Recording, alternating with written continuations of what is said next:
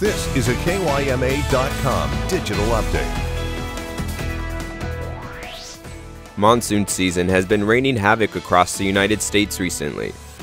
A Yuma family was caught in a Utah sandstorm which caused 20 vehicles to crash along Interstate 15, claiming 8 lives. It all began Sunday when the Valentine family was on their way home from a reunion. While traveling through Millard County on I-15, they found themselves amidst a sandstorm limiting visibility on the road. Unfortunately, Cameron Valentine was one of those eight whom lost their lives that day. The family's main breadwinner, Cherie Valentine, now has limited movement due to injuries just above her right elbow. The sandstorm disaster wrecked their entire vehicle, plus the camp trailer with everything in it. Seeing that Cherie is now unable to work and in a completely different state, Close Family has started a GoFundMe to help with medical bills, flight costs, and funeral proceedings. If you would like to make a donation, please read our weekly Rewind article at kyma.com for the GoFundMe details. We hope all the best for the Valentine family. May full healing and peace come their way. As we're being hopeful, we can also take inspiration from the Holtville Vikings softball team. They smashed their way through the playoff bracket, outscoring their opponents 23 2, including a forfeit. In the championship game, the young ladies won 13 to 7, claiming their first CIF Division championship since 1998. What was normally the pinnacle and end of the softball season now had an interesting twist.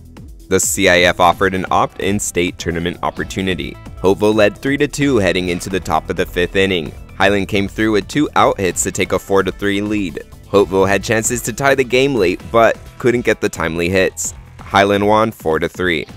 However, the Vikings did not fall short. They achieved their goal, and then went above and beyond what they were asked to do. Holtville now sees themselves as a power in the Imperial Valley and the state of California. When you think of imprisonment, innovation and education don't usually come to mind. But for the Yuma Territorial Prison built in 1876, that's exactly what many prisoners experienced.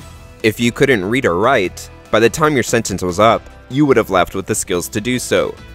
Only eight years after opening, it was the first building in Yuma to have the luxury of electricity installed. This was during a time when tuberculosis was a major health scare, and inmates were sleeping six to a tiny cell. Over 30 years, 111 prisoners died mostly from tuberculosis. The prison cemetery sits just across the building. It's the final resting place of those 111 inmates. Not only that, it's considered one of the most haunted places in all of Arizona. According to the US Census Bureau, Imperial and Yuma counties respectively have populations of about 180,000 and 214,000 people. With regard to those figures, 14.8% of Imperialites have been diagnosed with the coronavirus, while 17.6% of Yumans on average tested positive for COVID-19. Both California and Arizona continue to hit vaccination milestones. Over 44 million vaccines have been administered in the Golden State, whereas Arizona nears 6.9 million coronavirus vaccinations. For the latest stories in your full weather forecast, head on over to kyma.com or download our free mobile news app. I'm Caleb Fernandez. See you next time.